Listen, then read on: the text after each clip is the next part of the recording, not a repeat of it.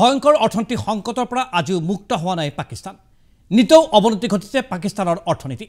পৰিস্থিতি নিয়ন্ত্ৰণৰ বাবে জনসাধাৰণৰ ওপৰত মাধমাৰ পাকিস্তানৰ চৰকাৰ অসহায় পাকিস্তান চৰকাৰে বন্ধ কৰিলে কৰ্মচাৰীৰ দৰমহা। বিভিন্ন কামৰ বিলসমূহ বন্ধ কৰি ৰাখিছে পাকিস্তান চৰকাৰে। এক কথাত অন্তিম উশাহ গণিবলৈ ধৰিছে এতিয়া পাকিস্তানৰ অৰ্থনীতিয়ে। পাকিস্তান এতিয়া সম্পূৰ্ণৰূপে আৰ্থিকভাৱে দেউলীয়া। দেশখনত এতিয়া অনিয়ন্ত্ৰিত মূল্যবৃদ্ধি।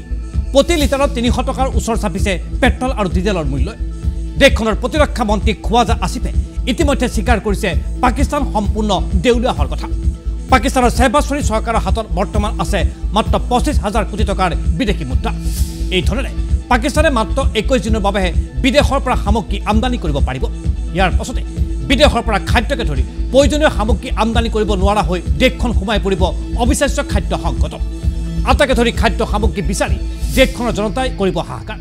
খাদ্য সংকটত দিক বিদিক হেৰুৱাই ৰাজপথত বিদ্ৰোহ কৰিব ভোগাটোৰ জনতাই। পাকিস্তানৰ দেউলীয়া স্থিতিয়ে সমগ্ৰ বিশ্বলৈ কঢ়িয়াই আনিছে অশনি সংকেত। পাকিস্তানৰ অৰাজক পৰিস্থিতিত দেশখনৰ পৰমাণু অস্ত্ৰ সন্ত্ৰাসবাদীৰ হাতত পৰাৰ আশংকা ঘনীভূত হৈছে। আৰু ধনৰ বাবে পাকিস্তান চৰকাৰে পৰমাণু অস্ত্ৰৰ প্ৰযুক্তি গোপনে বিক্ৰী কৰাৰো আশংকা উৎপন্ন হৈছে।